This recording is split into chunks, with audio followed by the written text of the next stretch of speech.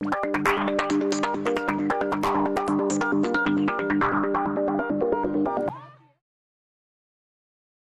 het poortschietspel moet je proberen om de bal langs de verdediger of keeper naar een ploeggenoot te spelen. Dat mag alleen over de grond. En stoppen daar heel goed. Dat is een punt, hè, Poli? Ja, hartstikke goed. Het is eigenlijk een kruising tussen Pasen en schieten. Je moet de bal zo hard en zuiver schieten dat de bal niet kan worden onderschept. Zeker niet te hard, want dan kan je ploeggenoot de bal niet goed aannemen. Prima. Rick, kan jij de bal ontvangen, jongen? Ja, uitstekend. Oeh, net geen punt. Goed. Heel goed, Tobias. Hartstikke goed. Je medespeler moet goed positie kiezen.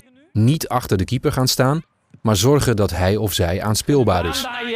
Heel goed. En hier weer een punt. Soms is het nodig om eerst een stukje te dribbelen voordat je de bal terugpaast. Jammer, jammer. Je kunt er ook een wedstrijd van maken. Het tweetal dat het eerst Goed 10 punten heeft, is winnaar. Kijken waar de bal...